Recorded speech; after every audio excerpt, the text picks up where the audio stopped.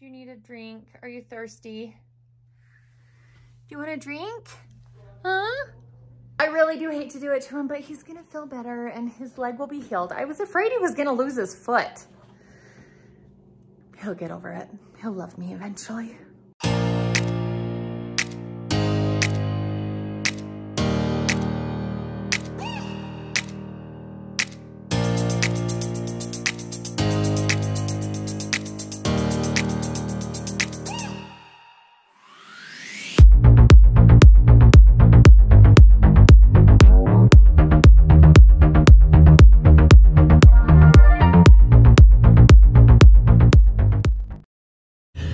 Good morning, everyone. Welcome back to Johnson Party of Six. Do you have a cat?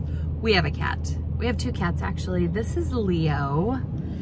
Leo is mad. He is so mad at me right now. Let me tell you a little bit about Leo. He likes to get out. Our cats are strictly house cats, okay? He should not get out, but he hears the door open and he bolts for the front door. He just wants to get out. Well, he's gotten in a few cat fights. he's on the dash. Okay, well, he's gotten into a few cat fights, okay? And he really hurt his front left paw about three weeks ago.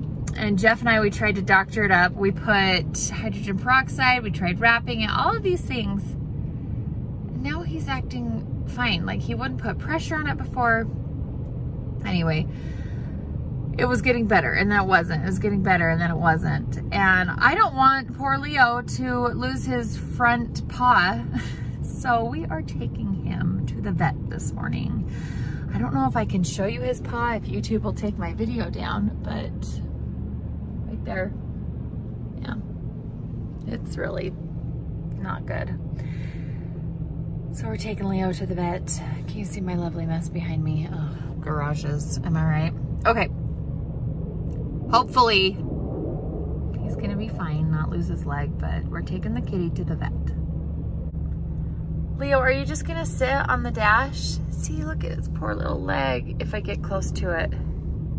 Leo, huh? He doesn't even like to be pet. He's like, don't touch it. Don't touch it, lady. How do you think he's gonna handle driving? Huh? You don't like that? We're moving. We're moving, Leo. Gonna have to move you down. It's not gonna be safe having you sit up there. The vet is really like a mile from our house. What?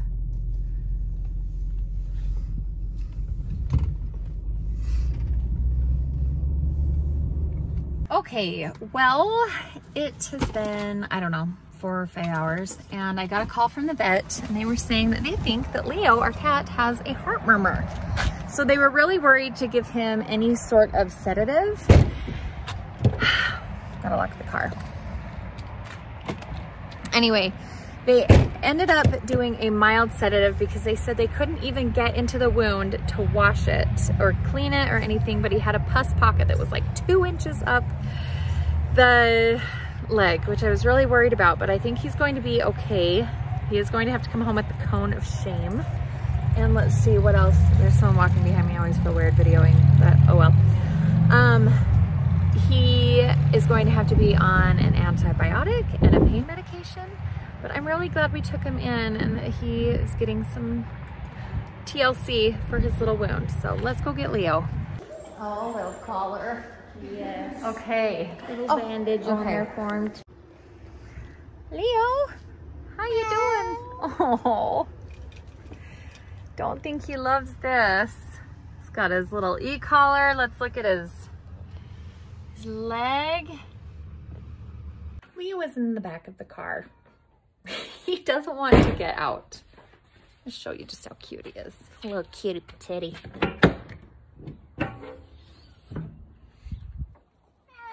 Leo? Do you, oh, he hates the collar. He hates the thing on his hand. Oh, Leo. You ready to get out? Never heard him meow so much in his life. It's time to get out, kitty cat.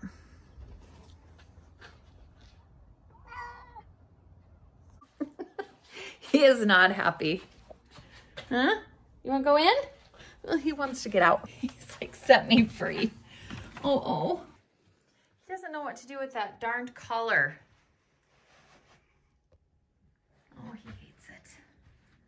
Poor guy. I really do hate to do it to him, but he's gonna feel better and his leg will be healed. I was afraid he was gonna lose his foot. He'll get over it. He'll love me eventually. Well, I just found Leo. Oh, poor little kitty.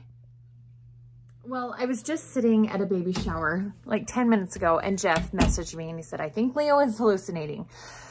I'm like, well, that that's not good. so they said that he was acting really weird in the kitchen. And when I came home, we couldn't find him. And they said, well, maybe he's not hallucinating. I think he's just loopy from the medication because they did sedate him.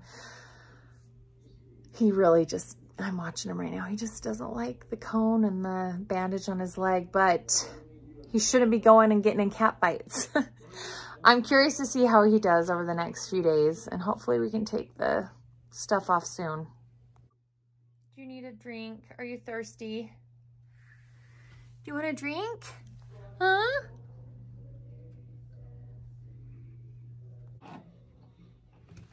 I think he is thirsty. You want to get a drink?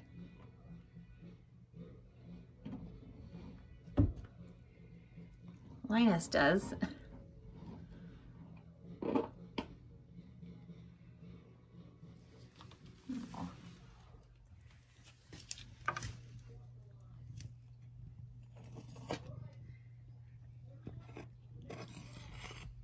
Good.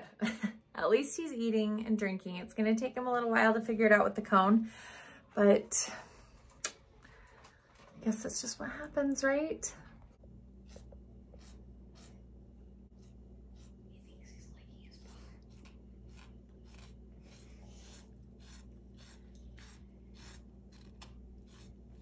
Oh, oh. He thinks he's licking his paw. It's so sad. Mom, look at Murphy.